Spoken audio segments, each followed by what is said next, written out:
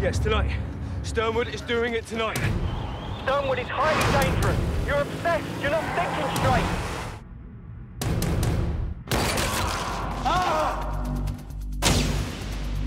He's created a legend for himself. I'll give him that. Only lasting thing about Jacob Sternwood should be his fucking prison sentence.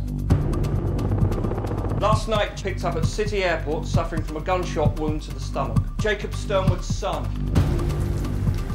So when you take him down this time, you take him down hard.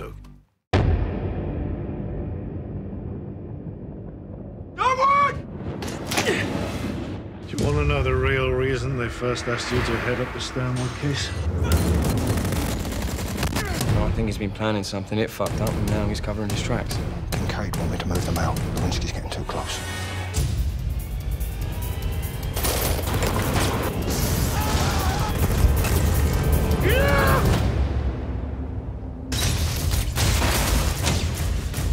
All lead back to Jacob Sternwood. I've just got to figure out how.